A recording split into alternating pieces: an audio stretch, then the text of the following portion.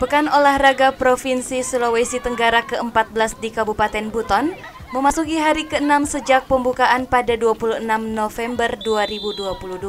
Sejumlah daerah di Sulawesi Tenggara berpacu meraih medali terbanyak di kejuaraan Porprov. Kabupaten Kolaka Timur menurunkan atlet terbaik mereka untuk bertanding di 22 cabang olahraga. Sampai sepekan pelaksanaan Porprov 30 November, Kolaka Timur mengumpulkan dua medali perak dan dua medali perunggu. Cabang olahraga penyumbang medali antara lain berasal dari cabang pencaksilat, panjat tebing, dan balap motor. Para ketua cabang olahraga mengapresiasi dedikasi para atlet dan pelatih atas kerja keras mereka dalam mempersiapkan kemampuan terbaik menuju Porprov Sultra sehingga bisa membuahkan hasil sejumlah medali. Pencapaian medali dari sejumlah atlet ini akan menjadi stimulan dan energi positif bagi pengurus cabang olahraga lain agar bisa lebih maksimal menghadapi ajang kejuaraan selanjutnya. Kolaka Timur menurunkan 12 atlet.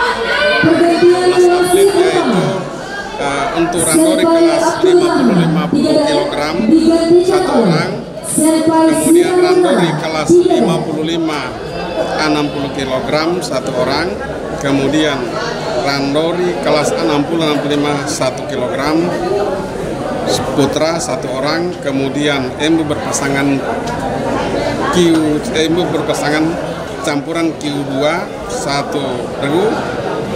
Kemudian embu berpasangan putra Q2 dua regu. Kemudian embu ber, beregu campuran satu regu.